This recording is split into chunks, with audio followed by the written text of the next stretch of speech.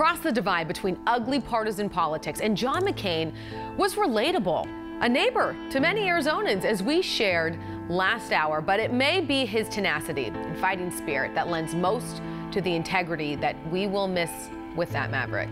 Team 12's Jen Wahl is live outside the mortuary where a procession will begin in just a few hours, giving the public and his peers a chance to say goodbye. One of whom is challenging us all to feel like a McCain. Is that right, Jen?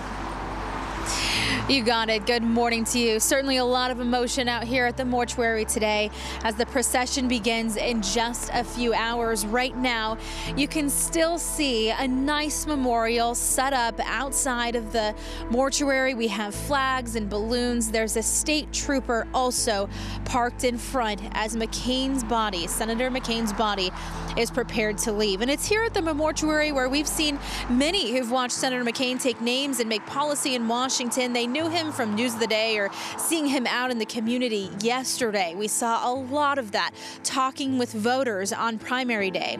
Now, outside of his family and community leaders, those who likely knew him best, his congressional family, sometimes they would spar over different bills and ideologies. But what we've heard also is how much respect on the Hill there was for the senator here at home, too, from constituents. And that came out in an emotionally powerful interview with his political wingman, Senator Lindsey Graham. And what he told NBC News.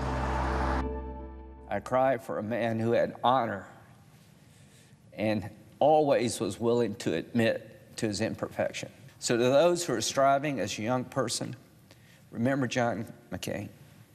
He failed a lot, but he never quit. My name is Graham.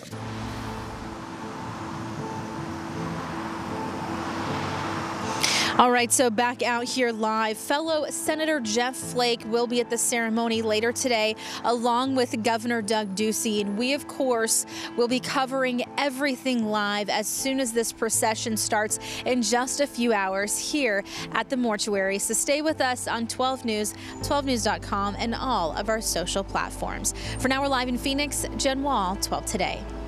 All right, thanks, Jen. A showdown looms in November's midterm.